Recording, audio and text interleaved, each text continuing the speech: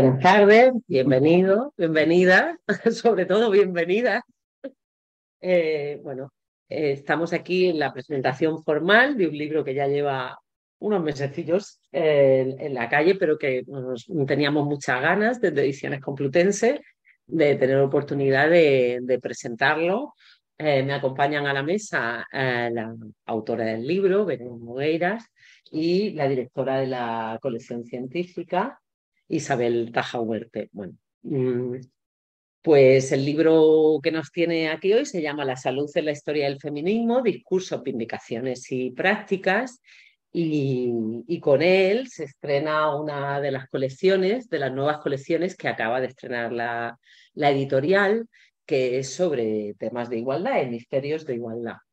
Mm, junto con él se ha publicado ya otro libro que yo comprendo que nuestra directora de colección hablará ahora un poquito mm, de él, de la colección y de la colección. Y de la colección. Vale, y bueno, contamos también incluso con, algunas contribuciones previas, como la propia obra de, de la profesora Taja Huerte, que además de directora de colección es delegada de igualdad y profesora de la Facultad de Ciencias de la Información sobre el acceso a la educación universitaria en América y España desde una perspectiva de género. Esto quiere decir que nuestra universidad y en concreto la editorial tiene un compromiso grande con toda esta línea de trabajo desde hace muchos años, tanto desde la delegación como desde el Instituto de, Estudios Feministas y para nosotros es un orgullo tener autoras de la categoría de, de Belén, es así, para que vamos a decir lo contrario, y no solo lo decimos nosotros, sino que además en, de nuestras nuevas colecciones científicas, en nuestro primer eh, premio nacional de edición científica que conceden todas las la editoriales universitarias españolas. Así que una enhorabuena, que pasaremos el premio. Por tanto, ni es cualquier libro y para nosotros es todo un orgullo, un orgullo presentarlo. Justamente este premio reconocía la oportunidad del tema, la exhaustividad del texto y del trabajo hecho y la adaptación al ámbito de la salud. Y sin lugar a dudas, yo también como editora en este caso, que es el que me toca, coincido plenamente eh, con esta valoración que se ha hecho y por lo que se le ha premiado cualquiera de las que podáis ojear este trabajo, veréis la exhaustividad en la cita, veréis la cantidad, bueno, las gráficas, las tablas, toda la serie de comentarios y cómo la autora se va apoyando textualmente y sacando referencias, lo que habla de un gran rigor científico y, de, saber, ¿no? Y de manejar ya lo que es el conocimiento, ¿no? De una manera muy especializada como lo que, pretende, lo que se pretende en una colección científica. Yo me lo he estado leyendo, mm, me ha gustado mucho, es un tema que creo que, que cualquiera que tenga sensibilidad, no solo en género, sino en persona, eh, rápidamente se, se, va a acercar, se va a poder sentir identificada, porque además la salud es un tema que nos afecta a todas, ¿no? No es algo que se circunscriba solo a un ámbito profesional o un tema muy, muy especializado. A mí me ha gustado especialmente, quizás por mi formación de base, toda la parte histórica que tiene como una doble perspectiva, ¿no? Por un lado, la propia historia del rol de las mujeres en la salud, pero también, por otra parte, desde todo lo que ha sido la trayectoria de la teoría feminista, para mí ha sido eh, del máximo agrado. Y luego también quiero destacar toda esa dimensión política y legal del tema, porque me ha parecido también una estrategia muy inteligente. Normalmente los libros de género pues, se enfocan más desde la antropología o se enfocan más desde mm, la temática o el área de conocimiento específico de la autora, pero yo creo que aquí Belén también da un salto considerable en ser capaz de integrar eh, de una manera transdisciplinar desde su especialidad, pero siempre intentando abarcar temas y sobre todo con una mirada muy activista, muy interesante. Eh, la lectura es fluida, es cómoda, mm, entusiasma, Belén engancha, engancha al, público lector y además te hace cómplice de, y te hace comprender, y especialmente en el caso de nosotras, que somos mujeres, pues cómo están los temas de salud y todo lo que todavía nos queda por avanzar ¿no? para, para mejorar estas condiciones. Desde una mirada no experta, que es la mía, y además teniendo dos personas como las que están aquí presentes. No voy a hablar mucho más de los contenidos porque pues, para eso están ellas y son las que más saben. Sí que es verdad que yo, por ejemplo, pienso en, un ámbito de la salud que compartimos todos, que es la ginecología, y, pienso en, detalles, ¿no? De cuando una va a la consulta, de cuando los tratamientos, de mm, cuando es un hombre el que hace de ginecólogo, porque de esto hay mucha gente que hace de, eh, de ginecólogo, eh, las situaciones también con el parto, cómo sigue tratándose, ¿no? Todas las que somos mamis lo sabemos, ¿no? Cómo sigue tratándose todo el tema de, los partos en los hospitales y tal. O sea, que es que hay mucho, mucho por lo que hacer. Y mm, bueno, pues nada más que felicitar a la autora. Yo creo que mm, le vamos a dar la palabra a Isabela, la directora de la colección, porque yo creo que sí es bueno que la, que la valore. Yo invito a seguir esta colección por supuesto, este libro, pues imaginaros qué presentación. Con un previo, pues nos vais a traer mucha suerte para muchos otros libros que esperamos que haya en esta línea. Y os invito también a que veáis la web de Ediciones Complutense y hay otras colecciones pues, de arte, de estudios literarios, bueno, de otros temas que quizás también sean de vuestro interés y que a mí me encantaría pues, que os aficionarais a nuestra editorial y, contar con lectoras pues, como las que tengo aquí delante, tan interesantes nada más. Muchas gracias, Isabel, cuando quieras. Gracias, Cristian.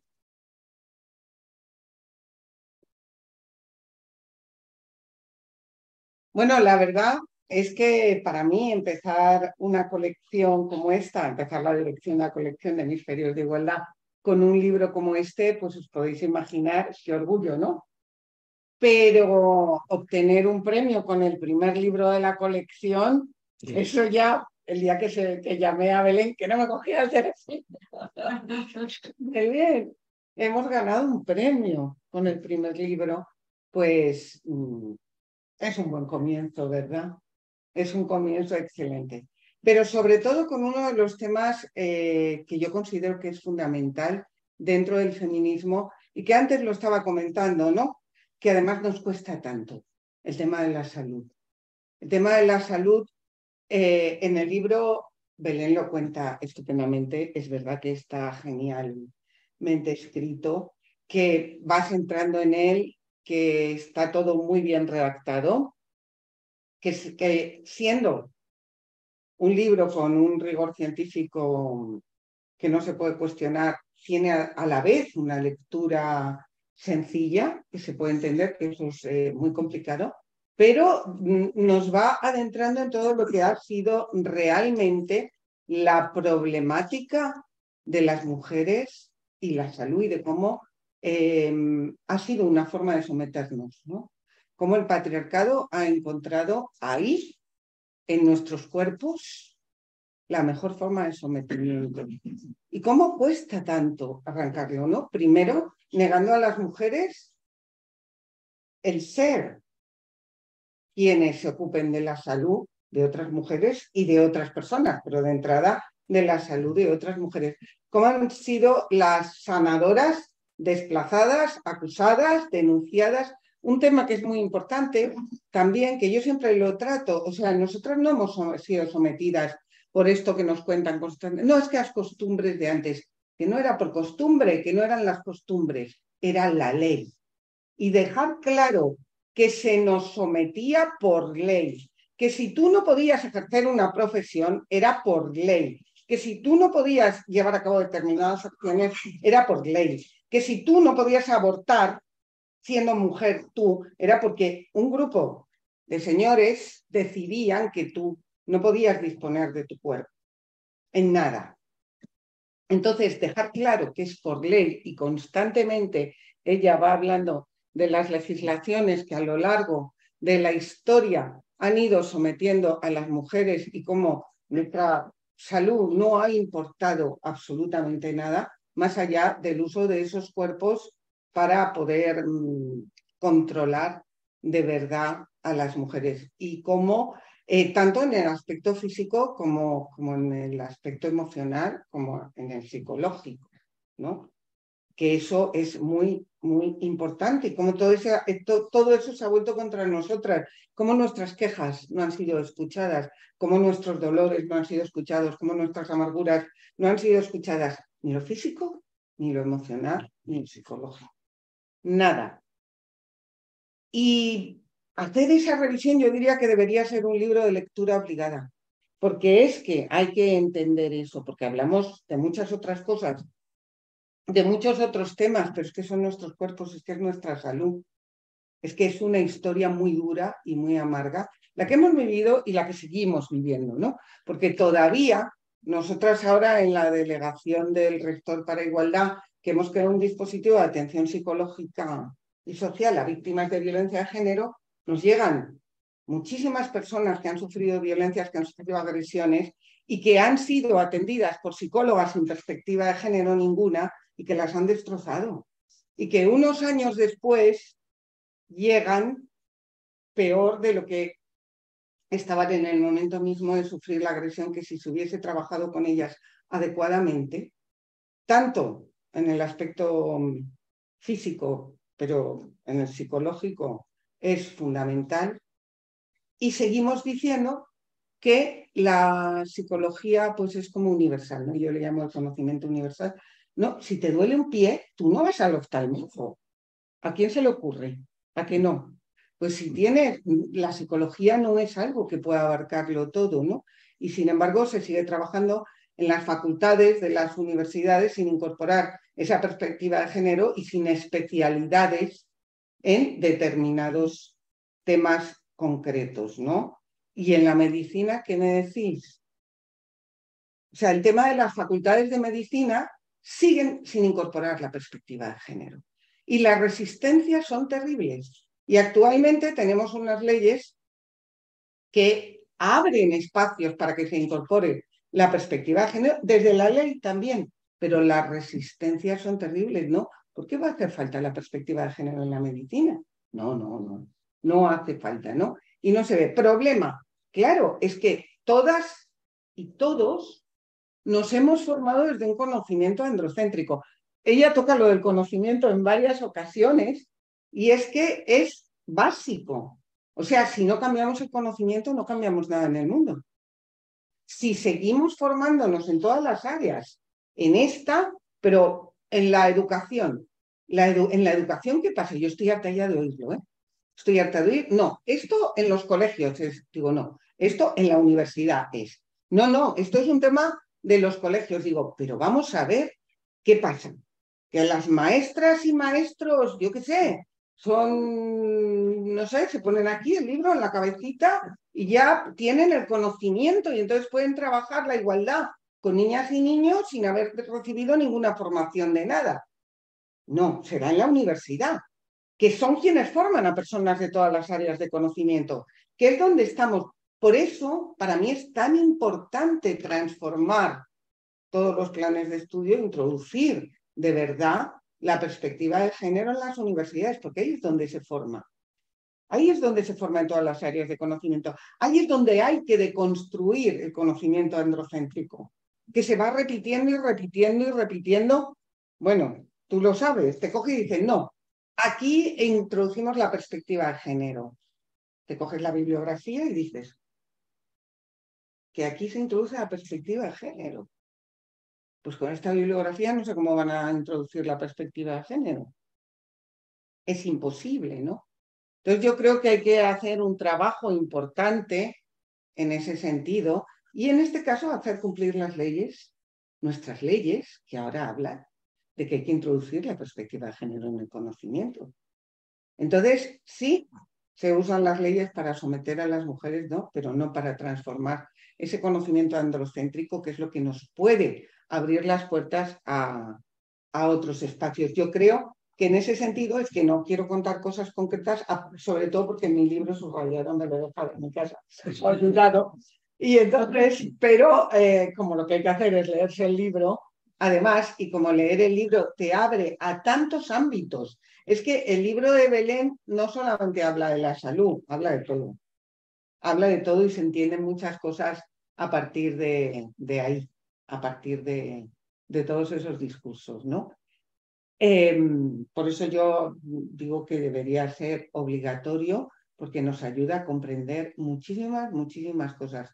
Así que enhorabuena, Belén, por el libro y gracias por publicarlo conmigo. gracias.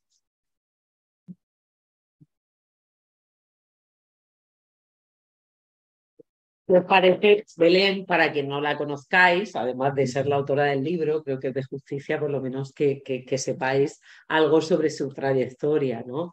Eh, creo que no hay nadie nuevo aquí. ¿eh? No, no. al otro lado, a la... Bueno, porque además me parece que eso también lo refleja el libro, ¿no? Una trayectoria, o sea, es un libro académico, de corte académico, mostrando un conocimiento profundo y vinculado a su tesis doctoral, imagino, pero además Belén es una gran profesional que está también en el otro lado, ¿no? Eh, voy a coger la chuleta, Belén, para contarlo. Es psicóloga clínica, es doctora en estudios feministas y de género por la Universidad Complutense de Madrid. Ha desarrollado su actividad profesional y docente en el ámbito de la salud y de las mujeres y de la violencia de género, tanto en organizaciones feministas como en instituciones de igualdad. Ha participado activamente en el movimiento feminista y especialmente en el movimiento de mujeres por la salud. En la actualidad forma parte de la red de mujeres profesionales de la salud y de la Asociación de Psicología y Psicoterapia. Feminista, que es la única rata que hay en este libro. Ah. falta el feminista. Bueno, yo creo que se dice tantas veces, se dice tantas veces feminista. No lo vamos a repetir. no lo vamos a repetir. Probablemente lo, no, más que una rata, porque aquí somos lo más en evitar. Ya, pero probablemente haya sido intencionado para no repetir tantas veces la palabra feminista que nos gusta, pero que, que ya aparece. Muy bien. Pues cuando quiera, Pelé, la palabra es tuya. Vale, muchas gracias. Gracias, Isabel. Ay, yo quiero mm, agradecer muchísimo a, mucha gente, a las que estáis aquí, a las que están en la mesa, así que es lo primero que voy a dedicar, ¿vale? Eh, a Alicia y a, todo el equipo editorial de la Universidad Complutense. Eh, parte de ese equipo está aquí, eh, pero hay un gran equipo de correctoras porque esa parte no se ve, ¿no? Y yo he vivido algo, o sea, la delicadeza con que han visto eh, cada detalle del libro, cómo se ha corregido eh, dos veces, me lo han mandado en papel, me lo han mandado en internet con, una, con un respeto profundo, con una manera de trabajar. Aquí estoy viendo a Carolina, pero hay un pedazo de equipo que yo en mi vida había visto esto. He participado en la publicación con artículos de libros, jamás se ha corregido un texto de esta manera. Así que eh, mm, es un orgullo la editorial Complutense, de verdad. Y, y a Isabel Tajahuerce quiero agradecerle algo especial. Si esta tesis, que es mi tesis, se ha convertido en un libro, es porque desde la Unidad de Igualdad creasteis el premio a las tesis doctorales sobre feminismo y el premio era la publicación en la editorial Complutense. O sea que mm, a mí me parece como una cosa milagrosa, ¿no? Que mi tesis se haya convertido en un libro porque me dan ese premio y que después le hayan dado otro premio, ¿vale? Entonces, esta carrerilla en la que te ves envuelta, eh, que es una cosa así, pero bueno, creo que la creación de ese premio es muy importante para la visibilidad del feminismo. Y, creo que toda la gente que estamos aquí y las que estáis en, detrás de la pantalla, todas las feministas estamos orgullosas de que haya un libro más sobre feminismo, ¿no? que se visibilice y en este caso en el campo de la salud. Yo además digo que este libro, yo he hecho mi tesis, pero este es un libro, como dicen algunas personas, es un libro coral. Es un libro que recoge eh, las palabras, los textos, las experiencias, las prácticas de cantidad de feministas en España desde 1975, que hay un capítulo eh, que se dedica a recoger eh, todo ese conocimiento desarrollado en España y a mí me gusta recordar que en el año 75 no teníamos conceptos, no teníamos leyes, no teníamos recursos, no teníamos nada. Entonces, el ingente desarrollo del feminismo en todos los ámbitos, pero en este caso en el ámbito de la salud, hacía muy difícil que cualquiera que llegara ¿no? a, incorporarse a ese campo por lo que fuese, que se hiciera con ese conocimiento, ¿no? Entonces, mi objetivo eh, eh, en esta tesis fue facilitar el acceso a ese conocimiento teórico, práctico y político que habíamos desarrollado a las feministas para que las siguientes siguieran trabajando a partir de ahí. No podemos empezar de cero todo el rato, ¿no? Entonces, ese fue un primer objetivo eh, de la tesis y ahora voy a agradecer a mi directora Luisa Posada. y el otro objetivo fue eh, recoger también y, bucear en la historia del pensamiento feminista, de la teoría feminista, porque no podía ser posible que la salud fuera solo una cuestión eh, del feminismo a partir del feminismo radical. No era posible por lo que voy a explicar después. Pero quiero también agradecer al Instituto de Investigaciones Feministas. Para mí ha sido importantísimo. O sea, empecé a hacer allí el máster porque yo había terminado de estudiar en el año 81, ¿no? O sea que mm, estoy muy mayor ya para estos trajines. Pero me sentí allí rodeada de jóvenes y fue realmente un regalo. Y Luisa Posada fue también mi profesora en el máster. Y al terminar el máster me incorporé al programa de doctorado del Instituto de Investigaciones Feministas. Y Luisa Posada, que dirigió mi trabajo fin de máster, em, quiso acompañarme en este proceso. Mm, ya se me seca la boca. Y em, el agradecimiento que siento hacia, Luisa es infinito, o sea, siempre le pongo ese nombre, la llevo siempre en mi memoria, en mi corazón. Eh, su inteligencia, su manera, eh, su trato eh, exquisito, su respeto. Hay muchas doctorandas ¿no? que a veces hablan de quien dirige las tesis, ¿verdad? Entonces ha sido un regalo de Luisa y habéis dicho que esta tesis está muy bien escrita, pues yo creo que porque estaba Luisa Posada ahí y, además eh, mm, está muy bien conceptualizada porque está Luisa Posada ahí detrás. O sea que por eso digo que este libro no es un libro mío, es un libro de Luisa y es un libro de todas las que han contribuido a la historia que aquí se cuenta. Yo diría que todas las que estáis aquí formáis parte de esta historia, formamos parte de haber eh, mm, contribuido a todo este saber que realmente es un gran orgullo feminista, contribuido en las calles o escribiendo o en el ejercicio profesional o en el debate en grupos feministas todas hemos contribuido a ello. Así que me encantaría, yo soy de libros colectivos y de colectivos, estoy viendo a, mi colectiva Pilar Mateo, eh, y este libro debería llegar, llevar aquí eh, escrito por el movimiento feminista y por el movimiento de mujeres por la salud. Así debería ser, pero bueno, em, ha sido de esta manera. Os agradezco mucho, mucho que hayáis venido hoy, que para mí esto es una fiesta feminista, es un orgullo y es celebrar eh, que la memoria histórica del feminismo y nuestra genealogía está muy visible porque no está solo en Internet, que es como estaba la tesis, sino que ya es un, libro que va a circular y va a tener más visibilidad, ¿no? Y yo espero que se lea, no por mí, sino porque lo que se va a leer es la historia del feminismo en el campo de la salud. Eso me parece muy importante.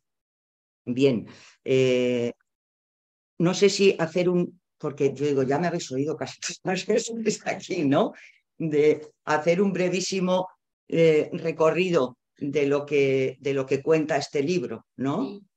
Sí, sí, dice Moira. Están aquí mis compañeras de la Asociación de Psicología y Psicoterapia Feminista, están aquí compañeras de diferentes grupos de las tertulianas, de las Federicas Tejiendo Salud, que es un colectivo de profesionales, en fin, eh, o sea que siento mucho cariño y hasta compañeras del Instituto del IES eh, Clara del Rey, donde trabajé mientras hacía esta tesis, que el origen de esta tesis fue eh, no deprimirme por el trabajo donde me mandaron a galeras, despedida de los, ¿verdad?, del, del Observatorio de Salud de las Mujeres y de los espacios de igualdad cuando vino la derecha. Entonces, pues fíjate por dónde ahora como acabo, ¿no? La vida es así. Sí, Sí, fue el mejor. Dije, tengo que encontrar algo, yo decía, para alimentar mi alma, porque si no me voy a morir de pena, ¿no? Y entonces, pues yo salía de trabajar y me iba a poner el culo en la silla y la gozaba, ¿no? Descubriendo eh, todo lo que descubrí. Y hay otra cosa que, que has nombrado, que dices que la tesis eh, no, está escrita solo desde una disciplina. Y efectivamente algo que he aprendido eh, también con Luisa y en Instituto de Investigaciones Feministas que el conocimiento feminista es transdisciplinar. Es un puzzle que hemos construido desde todos los conocimientos. O sea que cuando hablamos de salud, no solo están las ciencias de la salud, sino que desde la filosofía, la sociología, la antropología, todo, las historiadoras feministas, por ejemplo, han sido fundamentales para rescatar la historia de las sanadoras, ¿no?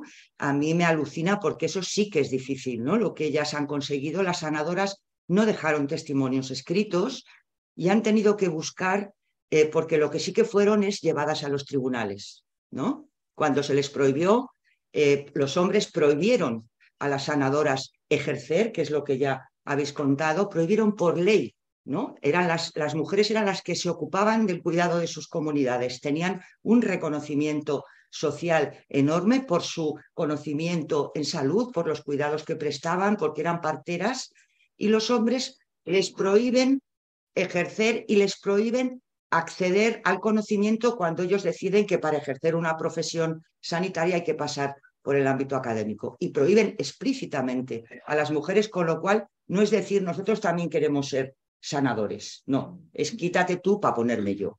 ¿no? Esto es una de las violencias más extremas que hemos vivido las mujeres porque sabemos fueron llevadas a los tribunales. Esos testimonios que ellas dejaban ahí son los que recogen las historiadoras, ¿no? que son sus palabras, y además tienen la osadía de enfrentarse a esos tribunales masculinos diciéndole eh, las acusaban de haber seguido, a pesar de estar prohibido, de seguir eh, eh, cuidando la salud. Y se afirmaban y decían, sí, seguimos, lo hago yo como lo hacen mis compañeras. ¿No? O sea, es, aquí estoy en un momento histórico donde se jugaba la vida, como sabemos después, ¿no? Que muchas fueron, bueno, condenadas al exilio, al pago de multas y después conducidas a las hogueras, torturadas y asesinadas. Y a mí siempre me gusta decir dónde voy cuando hablo de ellas, y ahora nosotras somos las nietas de las brujas que no pudieron quemar. Esta es nuestra historia, ¿no? Con lo cual, las mujeres en la Edad Media somos expulsadas del ejercicio profesional en el campo de la salud. Además, somos expulsadas de los lugares donde eh, eh, se da el conocimiento y de las instituciones académicas, con lo cual hubo que luchar siete siglos para volver a tener el derecho a estudiar y a ejercer las profesiones sanitarias. Eh, esto es un hecho gravísimo. Cuando decimos que las ciencias son androcéntricas, es que no hemos estado las mujeres. Ni nuestras necesidades, ni nuestros intereses, ni nuestra manera de hacer. Entonces, heredamos una ciencia que es masculina, androcéntrica, sexista y misógina, porque muchas de las investigadoras en el campo de la salud han estudiado los manuales y han analizado todos los sesgos y la mirada, como decía antes Isabel, sobre nuestros cuerpos, sobre nuestras emociones y sobre nuestras vidas. Así que creo que es muy importante eh, saber el, cuando, cuando vemos la historia de las mujeres en el campo de salud, se pone de manifiesto los intereses masculinos de nuestro control, de nuestra dominación y de la apropiación de nuestros saberes, pero también de nuestros cuerpos y de nuestras vidas. Esto es lo que se va a poner ahí. Ellos se apropian además del poder de la palabra, del poder de generar conceptos. Nos dejaron fuera. Con lo cual, a partir de ahí, construyen además una idea sobre la salud de las mujeres. Y esto es algo que yo descubrí y me parece un, elemento clave. Eh, sabemos que el patriarcado ha tratado, no ha tratado, ha privado a las mujeres de toda fuente de poder a lo largo de la historia, como también ha dicho antes Isabel, ¿no? Eh, de todas las fuentes de poder. Eh, sociales, económicas, políticas, el derecho al voto, de decidir sobre nuestros cuerpos, eh, de nuestros, lo que hoy llamamos nuestros derechos sexuales y reproductivos. Bien, y la salud es una fuente de poder. Cuando tenemos salud, tenemos energía para enfrentar las dificultades que conlleva la vida, especialmente nosotras, para enfrentar las desigualdades, las violencias, ¿no? Y todas las barreras que el patriarcado impone en nuestras vidas. Por eso el patriarcado ha tenido interés en debilitar la salud de las mujeres y lo ha hecho directamente sobre nuestros cuerpos, Hay una frase de Mary Wollstonecraft que siempre me escucháis porque no la olvido, me parece la definición más gráfica de lo que supone eh, el maltrato, una relación de maltrato, pero de destrucción, ¿no? Y ella dice, los hombres que quieren domesticar a las mujeres van a tratar de debilitar sus cuerpos y entorpecer sus mentes. Entonces, ahí está, es una herramienta como también han mencionado antes, la salud para nosotros ha sido una herramienta de eh, poder de los hombres sobre nosotras, ¿no? de debilitarnos, de quitarnos la energía vital. Pero además de hacerlo directamente sobre nuestros cuerpos, crearon un imaginario, porque ellos tenían el poder de la palabra, nosotras no, un imaginario sobre nuestra salud, afirmando que la salud de las mujeres es débil, lábil y vulnerable por biología, por nuestra especial y particular naturaleza. Esa idea, yo siempre digo, ha atravesado siglos de historia, sigue en el imaginario social y sigue agazapada en las ciencias y en las prácticas sanitarias. Todavía hay muchos y muchas profesionales que siguen pensando que nuestros malestares se derivan de nuestra particular biología, de nuestras hormonas, de que la menopausia es normal, que nos duelan los huesos, que nos pasen, ¿no? Las mujeres, incluso, eh, o sea, que es eh, esa proclividad a desarrollar malestares físicos y emocionales e incluso una tendencia a la locura por nuestra biología. ¿No? Las mujeres estamos de los nervios, somos histéricas, todo es imaginario eh, que está ahí y que sigue presente todavía. Por eso hablamos de la necesidad de hacer formación de profesionales que muchas, algunas de las que estáis aquí, llevamos años haciendo formación de profesionales, pero al margen de lo que es el currículum académico obligatorio. Y hoy ya no debería ser posible intervenir en el campo de la salud de las mujeres desde otro paradigma que no sea el feminista. No debería ser posible porque de lo contrario se van a estar cometiendo gravísimos sesgos científicos y clínicos. Así de claro, que es lo que están viviendo muchas mujeres cotidianamente en el sistema sanitario. ¿Cómo es que las mujeres salimos con recetas de psicofármacos? ¿no? Cuando se dice, las mujeres consumen muchos psicofármacos, pero alguien lo receta. Los psicofármacos no son libres en las farmacias, ¿no? Entonces, hace años, y todavía está pasando, pero hace muchos más años, decíamos que las mujeres que sufrían eh, violencia y maltrato en sus relaciones de pareja eran invisibles para el sistema sanitario. No se preguntaba, me duele la espalda, me duele el estómago, no puedo dormir, pastillas, pastillas, pastillas. Y hoy hemos visibilizado esto como una violencia sistemática sanitaria contra las mujeres. Esto tenemos encima de la mesa pero ahí está la barrera ¿no? de cómo vamos a incorporar en los currículos académicos universitarios este conocimiento ¿no? Que, que ha desarrollado el feminismo. Eh, a mí me encantaría cuando oigo el, se acabó del fútbol, ¿no? Digo, qué suerte poder decir se acabó. Nosotras no podemos decir se acabó. ¿Cómo vamos a decir se acabó? ¿No? Tendremos que decirlo. Sí, pero dile tú al, ¿no? al decano de se acabó, te va a decir yo tengo el poder. ¿no? Entonces, no sé, este plante, pero verdaderamente em, el trato sanitario a, muchas mujeres, mm, pues verdaderamente tiene que cambiar, debería acabarse, ya el mal eh, trato sanitario.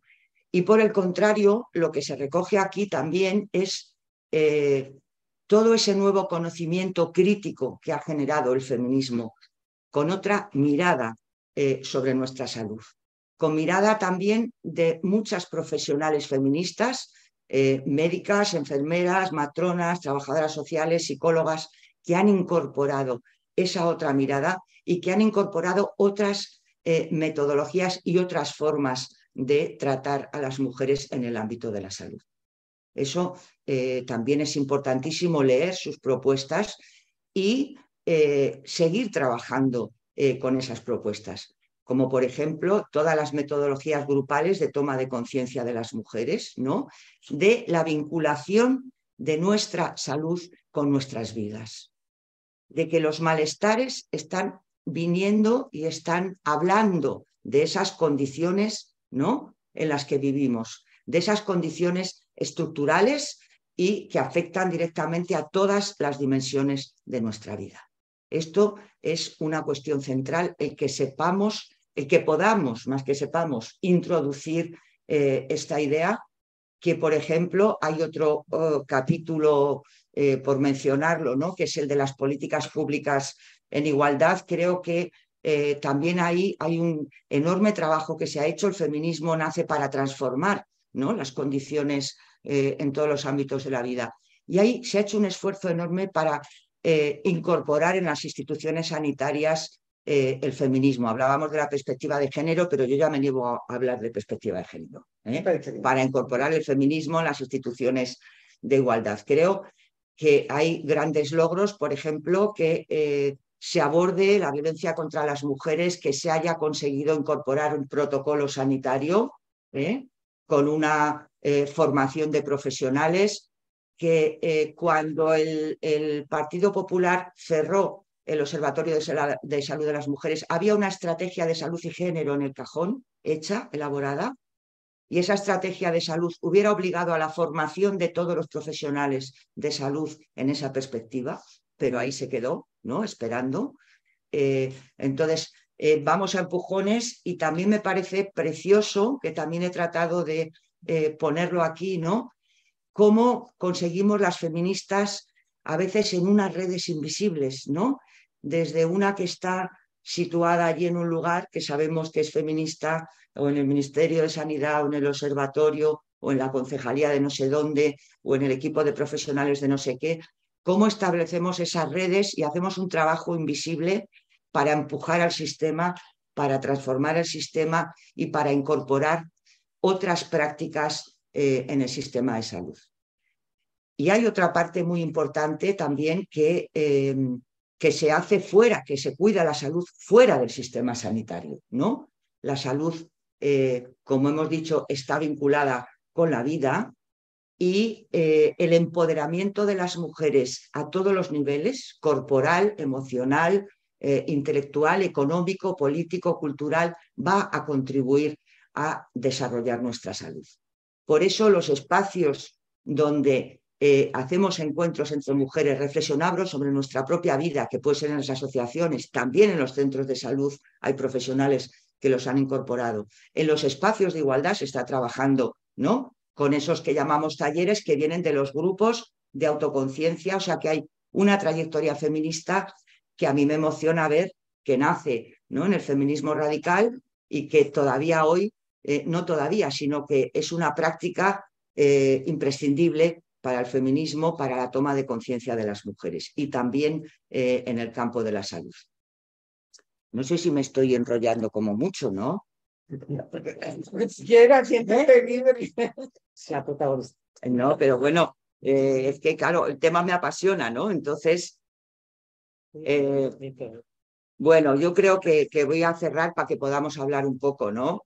Y mm, una cosa que sí me, parece, me gusta también eh, decir, que creo que se pone de manifiesto en este texto que eh, el ámbito de la salud ha sido una herramienta del patriarcado para nuestra dominación, eh, ya lo, lo he mencionado, y precisamente por eso es una cuestión clave para nuestra emancipación no podemos dejar de trabajar en el campo de la salud, desde diferentes ámbitos, en los grupos de mujeres, en el sistema sanitario, en las políticas, ¿no? En las legislaciones, en las organizaciones de mujeres. Creo que eso es eh, una cuestión muy importante.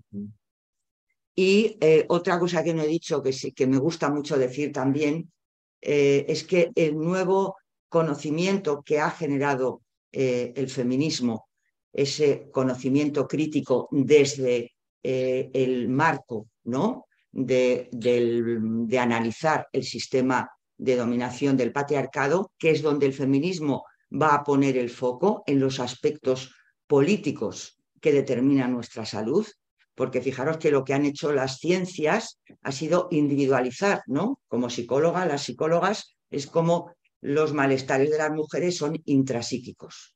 no están conectados con nada, con nada. Esa es la psicología tradicional, ¿no? Ni con lo que pasa en mi vida, es que yo tengo una carencia de habilidades que tengo que desarrollar, ¿eh? y eh, lo, que, lo, que, está haciendo la psicología feminista es conectar la vida con los malestares, las emociones, con los malestares corporales también, ¿no? Eh, voy a aprovechar aquí para nombrar otra cosa que me, que me gusta señalar, ¿no? Que cómo han sido denominados los malestares de las mujeres, ¿no? Como malestares psicosomáticos, un concepto que muchas mujeres también van a entender que es que entonces yo me lo invento ¿no? Y yo lo estoy creando y es una cosa intrapsíquica que se genera dentro de mí que no está conectada con nada, ¿no?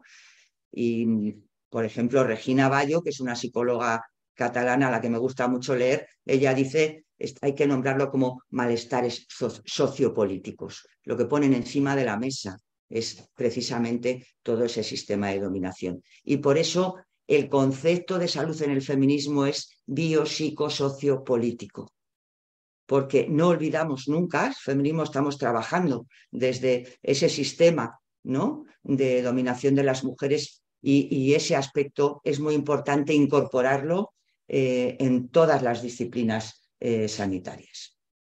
Bueno, pues yo creo que, que, voy a cerrar ya y que os agradezco muchísimo eh, que estéis aquí, de verdad, en vuestra compañía, porque estaba ahí con un poco de trago y me siento, y aquí hay una maravillosa Gloria Nielfa, que fue profesora también eh, de historia del máster. No me lo puedo creer que estés aquí. Y Yolanda, eh, que fue concejala de igualdad en Rivas cuando estuvimos allí, por favor. Pues eh, gracias a todas por todo lo que habéis puesto y creo que es un orgullo feminista todo lo que hemos hecho. Es, o sea, mm, es impresionante cuando lo pones todo junto. Así que eh, con eso tenemos que trabajar orgullosas de lo que hemos hecho y, siguiendo a ver si llegamos al se acabó en la salud. Y en la universidad. Pues muchas gracias, la verdad que un gusto escucharte. Ahora nos gustaría escuchar a las personas que estáis aquí, si tenéis preguntas, algo que queráis comentar, que os apetezca contarle a Belén, a Isabel, bueno, cualquiera, pues por ahí. Bueno, yo no voy a preguntarle nada a Belén, porque estamos y todo voy a preguntar, pero por alusiones sí quiero decir que, bueno, para mí ha sido un orgullo decir la tesis de Belén. Por supuesto, aunque ella lo diga, la tesis no es buena y el libro no es mío, es suyo completamente. Pero yo tengo que decir que, bueno, pues en el trayecto de la tesis, de los cinco años, yo he aprendido muchísimo de Belén me siento muy orgullosa de haber conocido esa tesis, Belén. Te agradezco mucho que siempre quieras que decir que la hemos hecho las dos. y bueno, mm, decir también que Belén se ha hecho acreedora con esta tesis no solo de los premios, sino de una cosa mm, también muy bonita, que es la que decía María Zambrano, ¿no? Y es que solo se vive verdaderamente cuando se transmite. Así que Belén, enhorabuena y muchas gracias. Gracias, Luisa.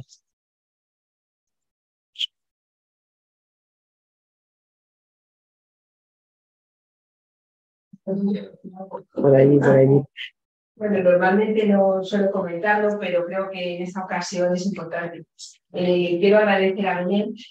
Estamos aquí algunos ripenses y creo que es en nombre de todas las que estamos y las que hemos venido el trabajo que hizo tan excepcional dentro de la vida de las mujeres.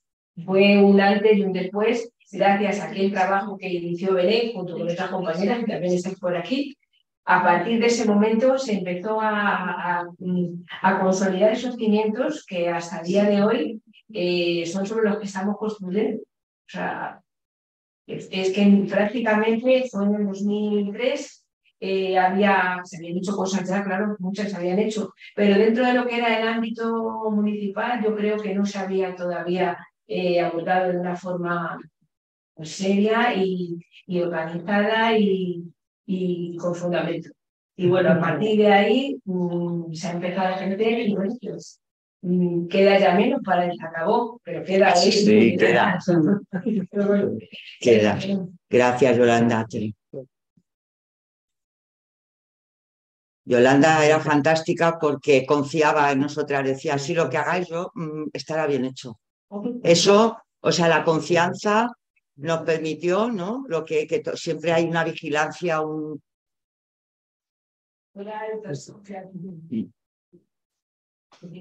Y yo me equivoqué. No. Pues no sé si alguna queréis comentar alguna cosita más o algún tema que por allí, ahí. Gloria. Bueno, yo quiero dar las gracias a Belén porque, vamos, me han mencionado de una forma muy cariñosa. Y yo tengo que decir que, bueno, pues eh, yo he sido profesora de Belén hace ya no sé cuántos años eh, de historia en el máster del Instituto de Investigaciones Feministas. Y claro, pues yo he tenido cientos, miles de alumnos y de alumnas a lo largo de mis años de universidad y a muchos pues no los recuerdo pero Belén es una alumna a la que recuerdo. Entonces, eh, cuando he sabido que presentaba este libro, he querido estar aquí. Y claro, pues ya digo, mm, yo le he dado clase de historia, ella se mueve en otro campo. Quiero decir que, que si la recuerdo, pues es por su personalidad. Y, por las canas en medio de la juventud.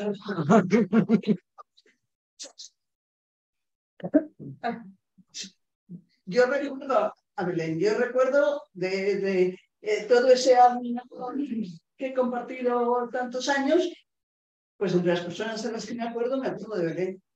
Y ha sido para mí un placer cuando he sabido que había recibido premios y me ha hecho mucha ilusión cuando he sabido que se presentaba hoy este libro venir aquí. Así que muchas gracias por todo, Belén. Muchas gracias a ti, Gloria. Muchas, muchas, muchas. Muchísimas por lo que he pues tenido que aprender, porque eso eh, tienes que acercarte a disciplinas que no son las tuyas, ¿no? Y manejar la historia y manejar tantas cosas, y para mí fue muy importante porque no era en absoluto mi campo de conocimiento, o sea que me encantaba, era un placer escucharte. Y lo ha sido después cuando te he escuchado en otras clases y en curso de historia de la teoría feminista, en fin.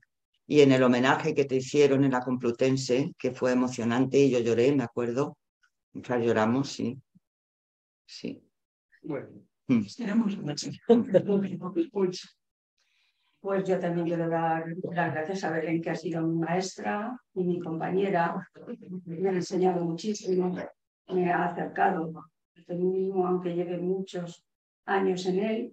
Y yo sí me siento, me siento incluida en este libro.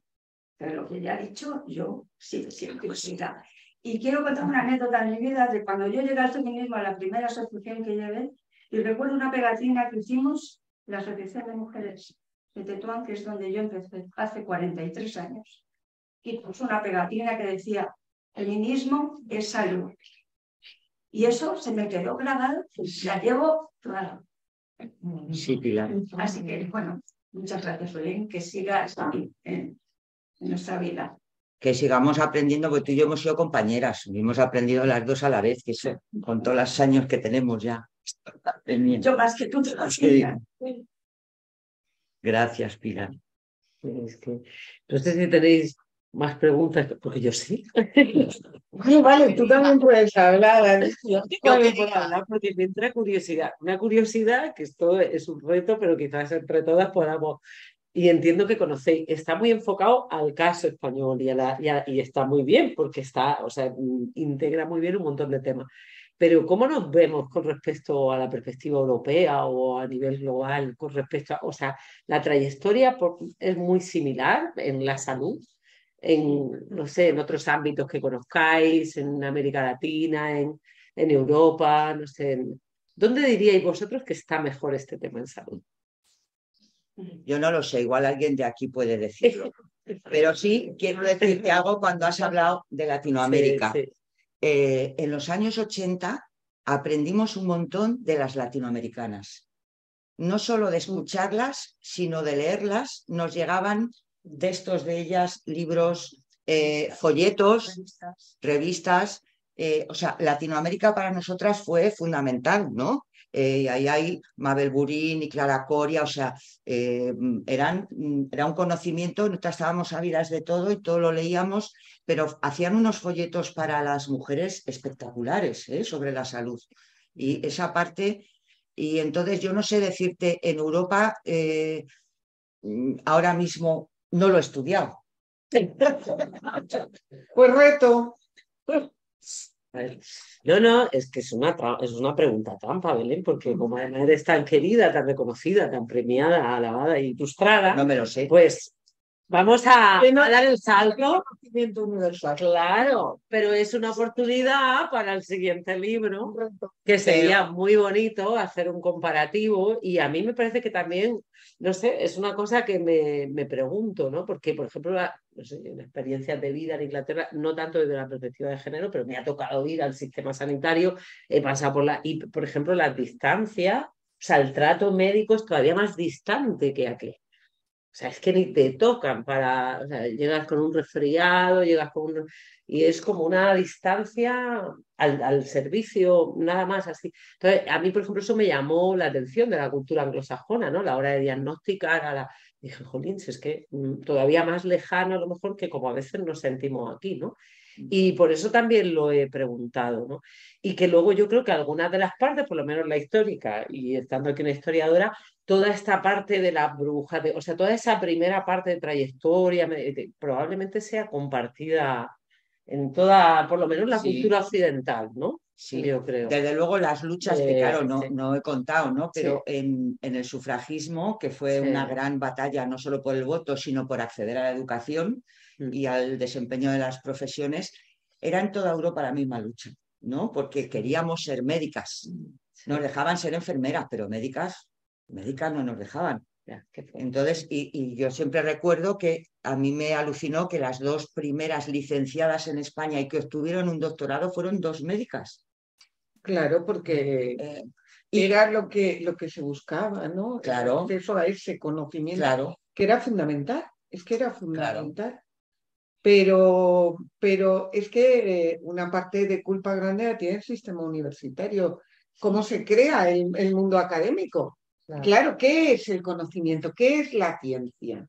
¿No? Y eso afecta también a América Latina, porque todos los saberes de las mujeres van fuera, mm. todos los saberes de las comunidades indígenas también van fuera, mm. que ahora hay mucha reivindicación de muchos de aquellos saberes, ¿no? O sea, se borran los saberes de las mujeres en todos los ámbitos.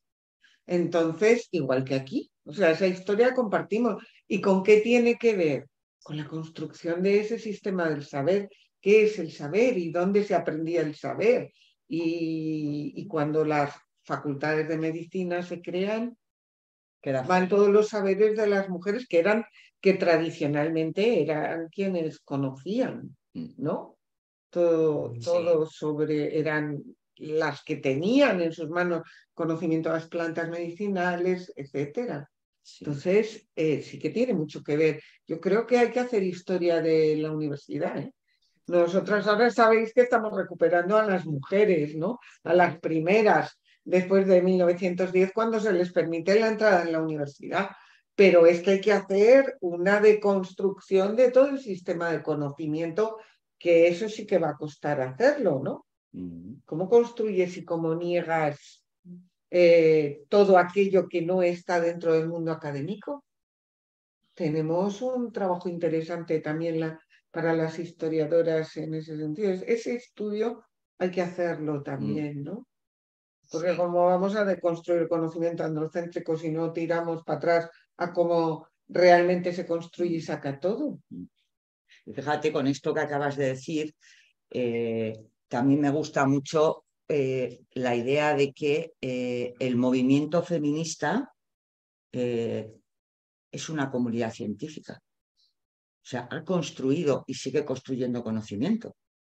Y en el inicio del feminismo radical, el primer conocimiento, el nuestro cuerpo, nuestras vidas, nace de los colectivos de mujeres que por primera vez se cuentan la verdad sobre sus vidas y sus cuerpos. Entonces, hay mucha parte del conocimiento que está fuera de la academia y que la academia no, impide.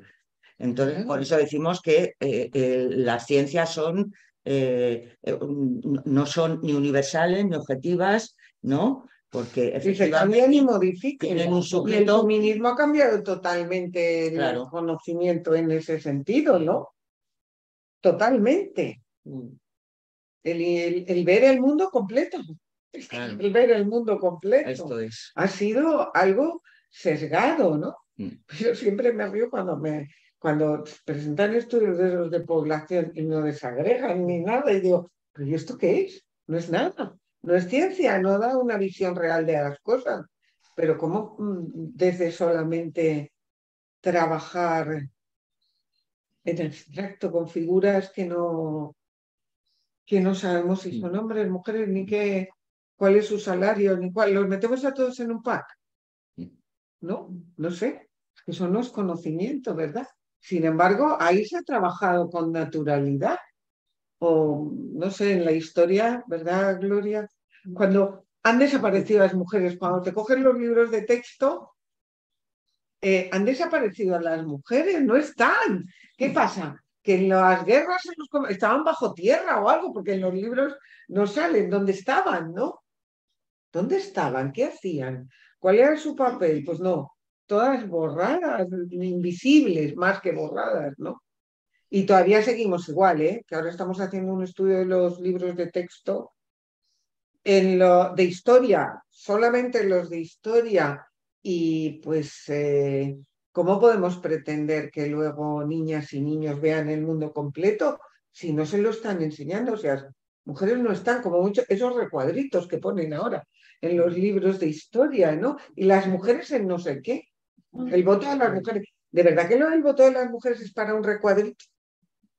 ¿Es para un recuadrito en general? ¿No? Eh, pues tenemos mucho trabajo todavía. Qué pena. Y esa otra, pregunta, otra pregunta que tenía para Belén, ya ves que es una editora un poquito... A ver, no, quería preguntarte, si tú dijeras, ¿qué crees que es lo que más se ha avanzado? O sea, si tuvieras que decir, esto es lo que más se ha avanzado en salud y feminismo en las últimas dos décadas. O esto me quedo con, o sea, qué cambio de, los que, de lo que tú destacas aquí, de las políticas, de las acciones, de las buenas prácticas, ¿cuál piensas tú que empieza a generalizarse en nuestro medio? Digo para felicitar cuando vayamos a ver a los autores. No, lo digo en serio, porque me parece que con toda esta larga trayectoria tan bien definida y contada, han cambiado cosas. Está claro que están cambiando cosas. Entonces, ¿cuál sería la que ya no requiere tanta lucha? Podríamos decir que empieza a que ha calado, que empieza a calar de verdad en el sistema sanitario, en el sistema de salud. No, puede contestar ella o cualquiera de las parientes. O cualquiera de. No sé, no, no sé si no sé si a través del Zoom podéis, eh, se puede hablar y también lo oís o no lo oís. Sí, sí. Ah, pues así, un saludo de todos los que estamos en el Zoom. Soy Inés de Nicolás, amiga de Belén, de Yolanda, vieja conocida. Yo estoy siguiendo la conferencia por, por, por el Zoom sí que, sí que me resulta curioso. A mí lo que más me preocupa es en lo que no se ha avanzado nada. Es decir, lo que no se ha avanzado nada, por ejemplo, me ha, encantado Belén. Tu exposición, tengo verdaderas ganas de leerme el libro, quizá porque mi momento personal también lo necesito, ese libro, dentro del tema salud y me parece especialmente importante, ¿no? Pero quizá todavía es mucho más llamativo, donde no se ha avanzado nada, es cuando nos referimos a mujeres mayores. En ese capítulo en el que hemos entrado algunas de nosotros ahora, que es el Mujeres Mayores, Salud y Sanidad. O sea, ahí ya el nivel de desconcierto, de descontrol, de... Mm, hoy me he encontrado en una situación absolutamente alucinante. Con 70 años recién cumplidos me han querido mandar al geriatra porque tengo tres o cuatro cosas juntas y un poquito mal la salud. Yo no sé cuántos hombres de 70 años mandan al geriatra, pero creo que ninguno. Eh, me, parece que me ha tocado. Entonces, curiosamente, estoy eh, viviendo una, un deseo de militancia activa con este tema de la salud absolutamente enloquecido, porque todavía es más dramático cuando se consolida una vida pues, de esfuerzos, de cuidados, de tal, y tú llegas con poca salud a esas determinadas edades. El nivel ya de, falta de seriedad en médicos, de falta de, planteamiento científico de cómo abordar un, un, tema de salud, un tema de un cáncer, un tema tal, es tan llamativo y tan brutal que evidentemente pone en peligro todo lo que es la salud de las mujeres en su conjunto. Cuanto más mayores, peor. Evidentemente. Entonces, sí que creo que, eh, que tengo unas ganas enormes de leer tu libro, Belén, pero creo que te tienes que apuntar a trabajar otro libro, además de por lo que quiere la editora. lo estamos invirtiendo directamente aquí. ¿Qué hacemos con las mujeres mayores en la situación aberrante que yo puedo llegar a llamar casi de, mm, dedicarse a generarles más ansiedad, más depresión y sobre todo, desde luego, muchas peores condiciones de vida, incluso suicidio. ¿eh? O sea, creo que es un tema que, hay que plantearse muy en serio. Quizá cuando no te haces una idea de ello, ¿no? Hasta que te toca vivirlo y dices, ¿pero esto qué es? Perdón, ¿cuándo he llegado yo aquí a este nivel? Mujeres que hemos estado luchando toda la vida y que llevamos toda la vida porque parecía que, habíamos conseguido unos, unas dosis de igualdad. En el tema de salud casi es donde más se nota eh, la, profunda, la profunda grieta que hay y el daño que nos puede hacer si no hay esa perspectiva de género. ¿no? sí que le lanzo a mi amiga la pelota. Gracias Inés por tu testimonio, ¿no? Y porque has hablado de tu situación en este momento, de tu situación vital. Y, claro que sabemos, ¿no? Que el maltrato sanitario eh, se da en muchas ocasiones, eh, sobre todo con mujeres mayores, ¿no? Eh, y ahora yo creo que cada vez estamos escribiendo más de las mujeres mayores. ahí tenemos a Ana Freisas con su Yo Vieja, ¿no? que, que pone manifiesto pues, muchas de estas cosas, ¿no? Y cuando vamos las mayores a las consultas sanitarias, ¿no? Y, bueno, pues hay que también hincar del diente y a la vez eh, ahora estoy pensando que hay estas redes que decimos, ¿no? Que se organizan a veces y no sabes cómo, pues en La Rioja han conseguido hacer ¿no? una estrategia de buen trato sanitario, una estrategia sanitaria de buen trato. No se sabe si bajará la realidad o no. Eh, eh, pero quiero decir que todo, todas estas realidades, cuando nos las contamos lo que nos pasa, siempre hay algunas feministas que luchan por eh, hacer algo para transformar. Y esto es una cuestión que necesita de muchísima formación y de toma de conciencia, ¿no? Del buen trato eh, mm, que hay que desarrollar en, la gente profesional, de la escucha, del reconocimiento a las palabras de las mujeres, ¿no? a sus dolores, a sus malestares, de la búsqueda de salidas, ¿no? que ahí tenemos a, a Karma Valls, que siempre dice que nunca se pregunta y se investiga de dónde vienen ¿no? muchos dolores de las mujeres. Entonces es como, pues te tomas este fármaco y ya está, ¿no? Y hay que investigar de dónde vienen, de dónde vienen las fibromialgias, de dónde vienen eh, tantas cosas que con nosotras nos investigan. Entonces también hay una desigualdad clarísima en el sistema sanitario y las mujeres utilizamos mucho menos eh, los recursos que los hombres, ¿no? Salimos casi siempre con un fármaco y un hombre va a salir con otra cosa, con una prueba, con un itinerario, con un no sé qué, ¿no? Así que yo, a mí me duele en el alma escuchar esto, Inés. Eh, ya lo sé, y a mí, a mí me duele vivirlo, ¿eh? te advierto. Pero vamos, está. Pues, muchas gracias, Inés. Pues pensando en esto, no sé si alguna de las compañeras y compañeros estáis por ahí conectados, ¿alguien más quiere intervenir? Ahí están 10 personas conectadas. Bueno, no, dos son la librería, o sea que hay otras 8 personas conectadas. Y que incluso pues están subiendo cosas al chat, ¿eh? Ay, sí, pero es que no lo vemos. El chat no lo vemos desde aquí. una están preguntando algo. Consuelo Ruiz hacia a, la participación de un libro de sí, salud. Si hay preguntas, estaría bien. Sí, sí. Claro. Pues por aquí. En el año 1990, muchas mujeres en, grupo dentro de la sanidad pública voluntariamente participamos escribiendo un libro, La salud de las mujeres en atención primaria. Esto lo ha dicho Consuelo. Ha dicho en Londres, una mujer española, después de ser intervenida en España y residir en Londres, le ofrece en la sanidad pública un acompañamiento durante tres meses con psicóloga, que habla hispana, dice habla hispana. Bueno, yo creo que hay comentarios que Sí, interesante. Vale. Vale. Gracias. Gracias. Gracias. No sé si algo más, alguna cosita más. Vamos ya por. Ya Vamos por cerrado. Vamos a cerrar, sí.